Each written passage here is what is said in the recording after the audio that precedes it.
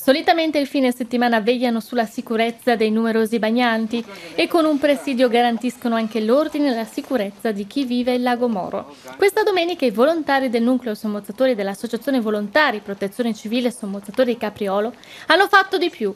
I volontari si sono immersi nelle acque del suggestivo lago per ripulire i fondali. In questa occasione in, diciamo, facciamo una giornata speciale, oltre alla nostra consueta presenza qui nel lido di Capodilago per appunto informare i turisti e vigilare sul rispetto delle regole.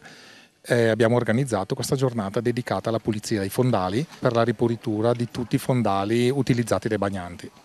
Un intervento subacqueo di pulitura del fondale che si è svolto alla presenza dei visitatori appassionati turisti, un'occasione per sensibilizzare tutti alle tematiche ambientali. Importante innanzitutto per far eh, sensibilizzare tutte le persone all'attenzione all'ambiente, quindi evitare di buttare nelle acque di questo lago come di qualunque altro eh, corso d'acqua o lago o mare eh, quegli oggetti che andrebbero diversamente eh, conferiti negli appositi contenitori e in altri casi abbiamo anche provveduto alla rimozione di eh, oggetti pericolosi.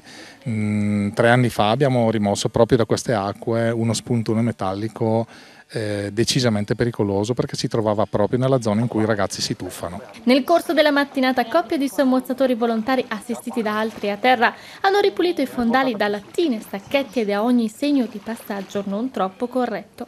Ora il lago è pulito, ma l'invito è a mantenerlo tale.